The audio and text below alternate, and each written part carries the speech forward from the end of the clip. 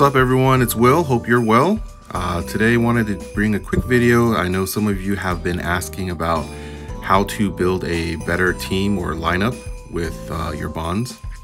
So I want to just share a couple of uh, tips and tricks that I've learned along the way um, from other people and hopefully this will help you build a better team. So I wanted to share with you first my current stats here. You know, you can see that it's uh, it's pretty high. I'm at about 76 million SP. Um, and then my attack's about 9.4 million. I want to show you where I'm getting most of that attack from um, in this example. So if we go out and we go into the lineup, this is my current setup. Uh, this is my setup for running LNs. I'm trying to maximize my damage output. Uh, and I, I, currently switch between um, using VL or Fister here, um, just kind of depending on my mood. But the yes, character sir. that I want to share today would be my Barry.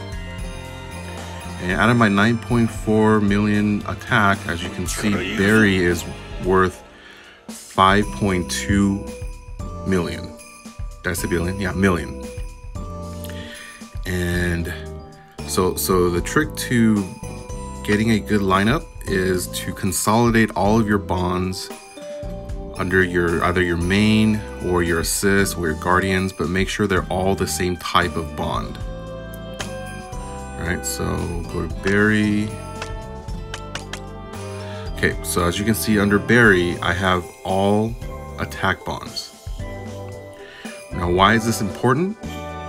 This is important because all of these attack bonuses, they all add up together and give you a bigger bonus as opposed to if you diluted your bonds with attack, armor, and HP, then you'll you'll get more of a balance for your line, but you won't get as much as you as you can if if it was a single type of bond throughout all six slots.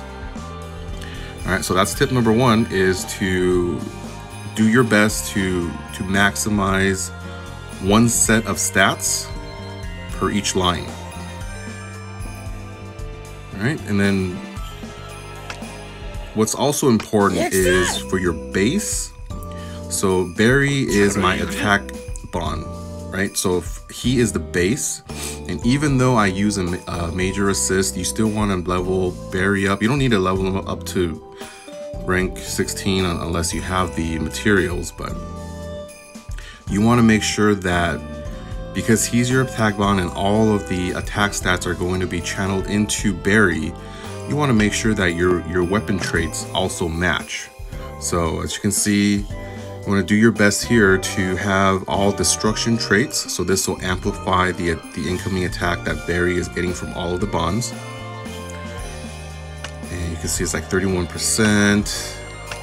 15%, 25%. This will help you build a stronger lineup uh, with more attack. And then, as you can see with each of the bonds under Barry, you'll also want to make sure that you get as many destructions on there as you can as well. See, so that's uh, my second bond third, fourth. See, I'm missing one uh, under Ulik 2, and I still need to switch that out. Just you know, haven't been lucky enough with the converters or using sprays. Here's Nell, and there's Gin.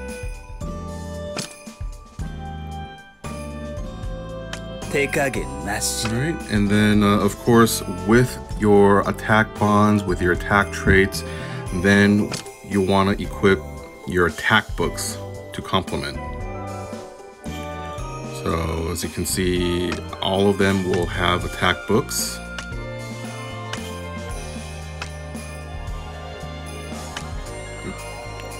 Yep, so all of them will have attack books, so everything adds up. So let me let me go back to my bonds. and I of show you how it adds up here. So let's say I remove all of them.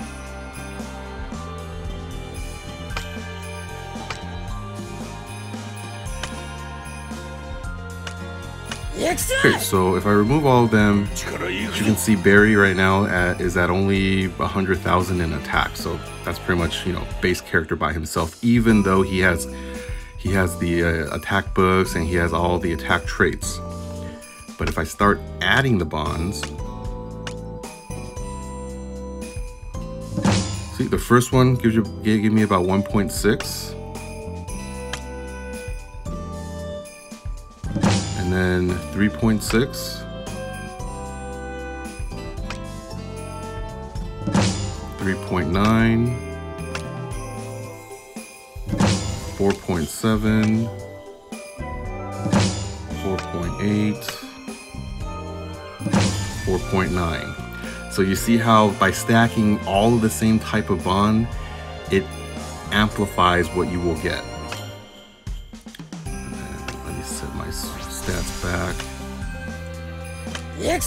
So just with the six bonds itself, I went from a Barry base of 100,000 in attack to now a Barry base of 5.2 million in attack.